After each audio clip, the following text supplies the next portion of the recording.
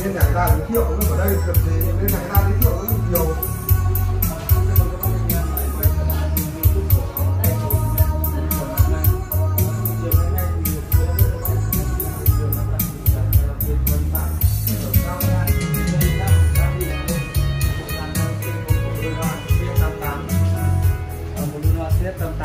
À, đôi loa này thì có thể chơi đa dạng.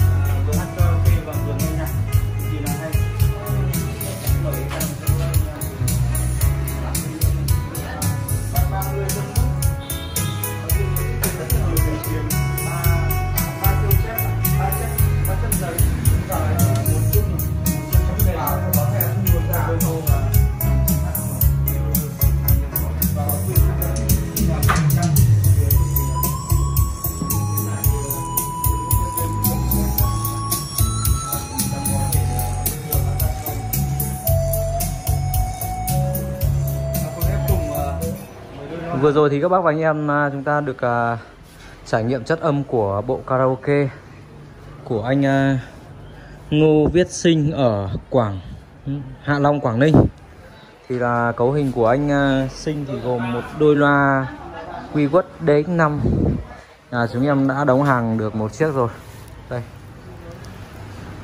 Và còn một chiếc nữa thì uh, thì anh em uh, sẽ đóng. Và bên cạnh cấu hình của anh Ngô Viết Sinh à, ngày à, 19 tháng 3 Ngày hôm nay thì còn có rất là nhiều cấu hình khác của các bác và anh em nữa. Đó. Còn rất là nhiều cấu hình khác nữa. Thì à, buổi chiều Thì à, chúng em sẽ à, Bưu điện sẽ đến à, lấy hàng của chúng em. À, Bên cạnh đây còn một đôi DX2 nữa. Với là của bác nào đây để em à, quay lại gần cho các bác và anh em.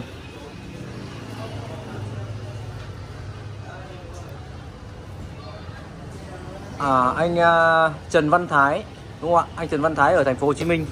Cấu hình anh Trần Văn Thái của thành phố Hồ Chí Minh nữa, một đôi DX2 nữa. Đó. Hai cấu hình à, khủng long bạo chúa của bên à, Hoàng Long thành phố chúng em và tận và um, kèm theo mấy à, cấu hình à, tầm trung nữa và cấu hình à, tầm trung và tầm giá rẻ nữa.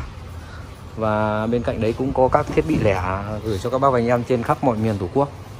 Các bác và anh em à, có nhu cầu à, những cấu hình karaoke như là anh à, Sinh đây như là anh Thái thì các bác và anh em vui lòng liên hệ trực tiếp theo hai số hotline của chúng em ở bên góc trái màn hình 0975 386 726 hoặc 0963 866 622 địa chỉ Hoàng Long thanh số chúng em tại 107 phố Trường Lâm Long Biên Hà Nội đối diện với bệnh viện Đa khoa Đức Giang. Thì à, ngay sau đây thì em à, sẽ à, xin phép kết thúc video và cùng với anh em để đóng hàng để gửi lên à, đường sớm nhất cho các bác và anh em. Xin chào và hẹn gặp lại các bác và anh em ở những video tiếp theo nhé. Xin chào ạ.